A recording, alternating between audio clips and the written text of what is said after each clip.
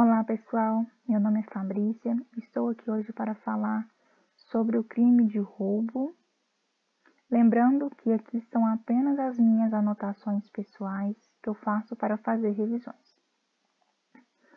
É, vamos iniciar então o artigo 157 da parte especial do Código Penal que fala subtrair coisa móvel alheia por si ou para, para si ou para outrem mediante grave ameaça ou violência à pessoa, ou depois de havê-la por, por qualquer meio reduzido à impossibilidade de resistência.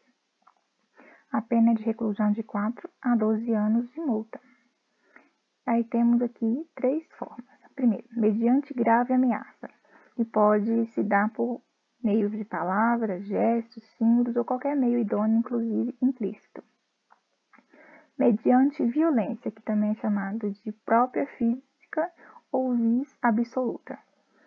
A violência física pode ocorrer de qualquer forma e não precisa ser aquela necessariamente que deixa marca ou lesões.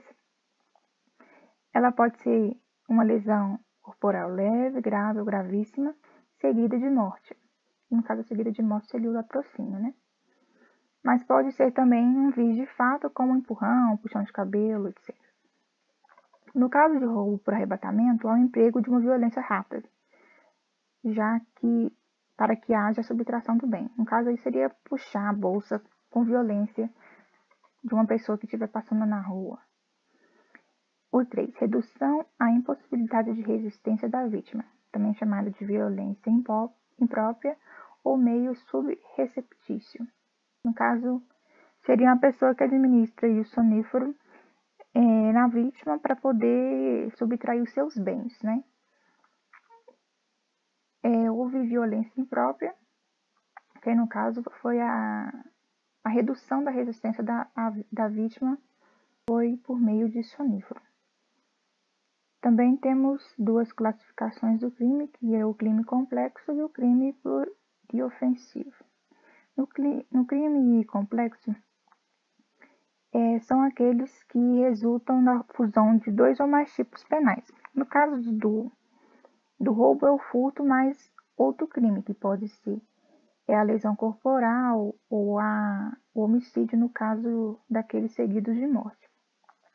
Já o crime pluriofensivo atinge mais de um bem jurídico tutelado pela, pelo, pela norma jurídica. No caso do roubo, a norma jurídica está protegendo o patrimônio da pessoa e, no caso, quando houver lesão corporal, por exemplo, o outro bem tutelado é a integridade física da vítima. Temos também as situações específicas. Temos aqui o roubo de uso. O roubo de uso ainda configura o crime, diferente do furto de uso, né? E mesmo que a pessoa é, alega subtração seja temporário e ainda configura o crime de roubo, porque o crime de roubo ele deve ser seguido de violência ou grave ameaça. Roubo de coisa comum. A coisa comum é aquela que é utilizada por outras pessoas também, por exemplo. Num condomínio, é, a carro, por exemplo, que é do condomínio, ele não é de uma pessoa só, é de, das pessoas que moram naquele condomínio. A herança é que tem mais de um herdeiro. A herança é de duas pessoas em comum. Ou então, por exemplo, tem uma empresa que tem três sócios. Os bens daquela empresa não é de uma pessoa só, são de três pessoas, no caso, os sócios. Aqui, o, no caso do roubo de coisa comum, imagina numa situação de um condomínio iria ameaçar o síndico para pegar o carro do condomínio. Configura roubo normalmente. Roubo privilegiado. O roubo privilegiado não existe. Ele irá responder normalmente pelo crime de roubo, mesmo se o réu for primário e o objeto roubado seja de pequeno valor. E o princípio da insignificância não se aplica ao roubo.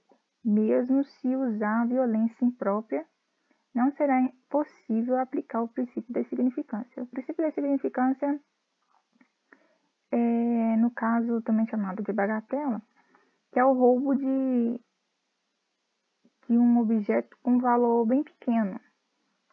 É, normalmente objetos com 10, que representa 10% do valor do salário mínimo. Aqui não se aplica o princípio da insignificância. E o roubo privilegiado não é o crime, no caso privilegiado. Há uma diminuição de pena, no caso de, é, de crimes privilegiados, quando o réu for primário e o objeto seja de pequeno valor. Pequeno valor aí já é no caso de objetos, é, itens no valor de um salário mínimo. Bom, pessoal, é,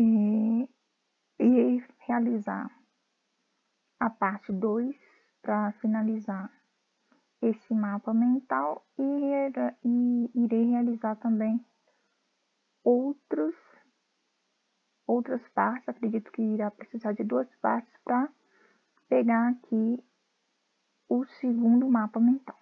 A matéria é um pouco extensa, mas aguardo vocês nos próximos vídeos. Até mais.